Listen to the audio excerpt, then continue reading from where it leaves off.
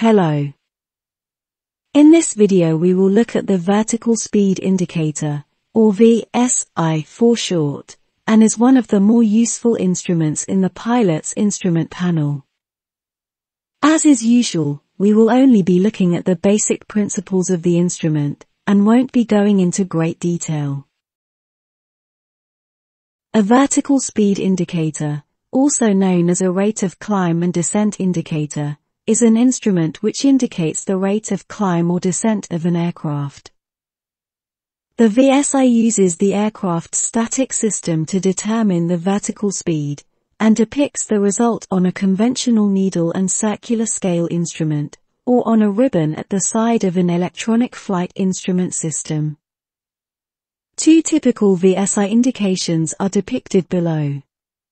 The instrument on the left is a conventional instrument, often used on light aircraft. On the instrument on the right, the vertical speed is indicated on the scale at the extreme right of the instrument. This instrument is used on airliners. We will be looking at the basic instrument on the left. In a simple VSI, a barometric capsule is contained in a sealed case. The capsule is fed with static pressure from the static system. The case is also connected to that system through a calibrated nozzle. The nozzle restricts the passage of air, so that there is a time delay between a change in static pressure and the pressure being experienced within the case. Thus, if the aircraft climbs, the pressure within the capsule will decrease, while the pressure within the case will decrease at a lower rate, due to the presence of the nozzle. This will make the capsule contract, and through a mechanism, will cause the needle to show a climb. Once the aircraft has leveled off, the pressures equalize, and the gauge reads zero.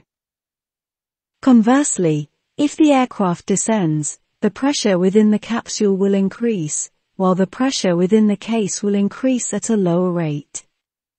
This will make the capsule expand, and cause the needle to show a descent. As the VSI relies on air leaking in or out of the casing, it requires a second or two for the system to stabilize. That's where trend versus rate comes into play. When you initially start climbing or descending, your VSI needle will start moving, but it can't immediately indicate how fast you're climbing. This is what's called trend information. When you see the needle move up, you know your climb rate is increasing, and when it moves down, you know your climb rate is decreasing. Until it stabilizes, you won't get an accurate figure of the actual rate for a moment. So, the needle indicates trend. After a second or two, the calibrated leak has a chance to catch up and reach equilibrium and your VSI will stabilize at the actual climb or descent rate.